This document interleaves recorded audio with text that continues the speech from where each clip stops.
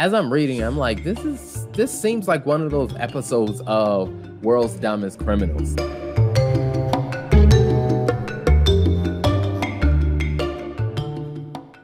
We have a gentleman in the state of Tennessee that started a business and he was in he was a contractor so did you know construction type um, work but in this situation he was the subcontractor so there was a you know someone won a contract with a big organization and so they said hey we can't do this part of the work so we're going to hire another contractor that can cover this piece.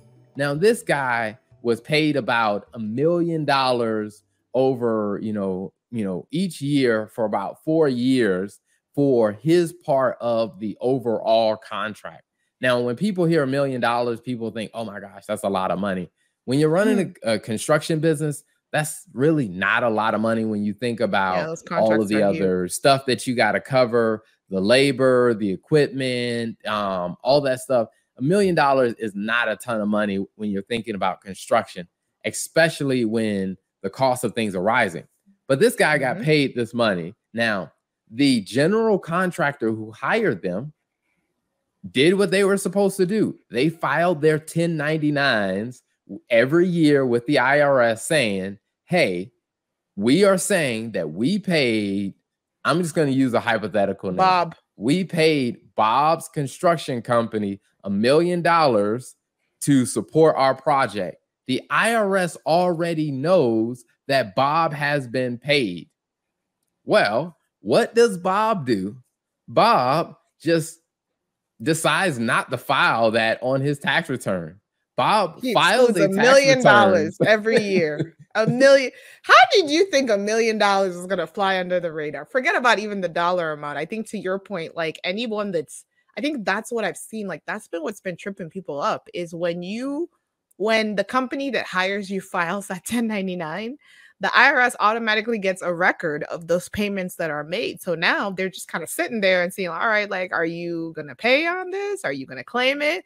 And when the numbers don't match and you're not reporting it, because I think he did that for what was it, four consecutive years where he yeah, did like not report any of that? So he did file a tax return. He just did not include that. He lied on the tax on returns. His... Really, what he did. I mean, yeah. he filed a tax yeah, return and he didn't include that in the tax return to where it's just like, yeah. all right, when so when it's time to audit this tax return, because the IRS is sitting back saying, hey, you know what? John's construction company told us that they paid Bob's construction company a million dollars. Now yep. we understand Bob didn't keep the whole million. He had to cover different expenses. So we expect to see something show up on his return. But when Bob filed his return, Bob it, Bob included zero dollars of that money on his tax return.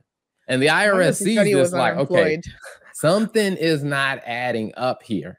And so when they started looking and investigating, they realized that Bob has been completely leaving that off his tax return, which it is tax evasion. Like Bob was intentionally lying to the IRS saying, hey, here's how much money I made. Now, people may say, well, can't you consider that to be a mistake? Not well, the IRS didn't consider it to be a mistake. They they considered it to be intentional, which made it tax yeah. evasion, which is why he got caught and why he's going to be sentenced to not only you know, go to jail for some time, he's still going to have to pay it because the IRS isn't just going to be like, okay, all right, we'll send you to jail for three years, but you get to keep the money. The IRS is going to come back and say, hey, we're going to recalculate your tax, um, your, you know, your tax, you know, liability. We're going to recalculate that. You're going to owe us that money. We're going to get that money from you. And in the meantime, you're going to go sit in jail and think about what you did and it's just like put you in the corner. Go, you are in timeout, sir. it's just not worth it. So I mean, you know, that's why I would say that that people just need to understand, like, hey, if you're being paid as a contractor, do understand the IRS already knows how much money you made because that company that's paying you, they filed a 1099. So you're not getting away with something. They're eventually going to catch you and you're going to have to pay your money and you might end up having to go sit in jail for a little while and then when you come out you got to figure out how the heck you're going to pay that that bill because they're not going to let that go yeah, no, I agree. And I think this is really where a good accountant comes in because if they if he had an accountant, I don't know if he was cookie, he was doing his home his own bookkeeping. Like, how do you just exclude a million dollars?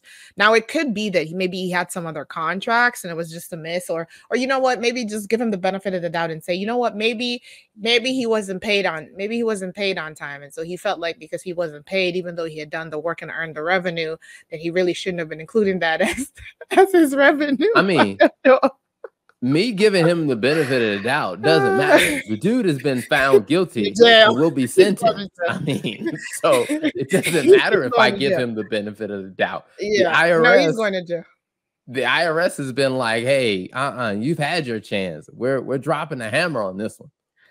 Yeah, and I think really, I think this is where it's important to have a good accountant, right? And to at least have a professional look at your stuff because someone could have easily said, "Hey, when I look at your your actual receipts and your invoices, like the amount you're reporting as revenue on your financial statements actually doesn't tie with what you actually collected because that would have been an immediate red flag when people were, you know, when the account accountant was doing that reconciliation. So, um I don't know if you know his his tax accountant did his um his financials or if he was doing them himself. Like I don't know what the story is there, but either way, the IRS found out, and now homie is is gonna have to go sit in the corner somewhere. So, I mean, and and that could be yeah. a very interesting thing. I, I mean, they didn't provide the details, but if he did have an accountant who was doing his tax return, that accountant possibly could be liable because when an accountant does your tax return, the accountant also signs at the bottom that mm-hmm.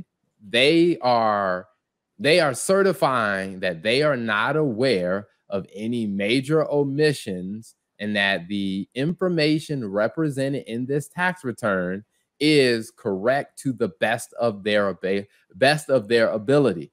Well, if the IRS digs a little bit more and they say that hey, this tax preparer did not do a due diligence to make sure that this information was materially correct, the tax accountant or whoever he had do the tax return, they possibly could get in trouble too. That's true. That's true. All this to say, do the right thing, if there's a 1099, there's a paper trail, you best believe the IRS is going to be checking it out and tracing it, and they will know if you do not pay your taxes. So that's that for this week's tax tea. And thank you guys for tuning in for another episode here at Stuff Your Accountant Isn't Telling You. Until next time.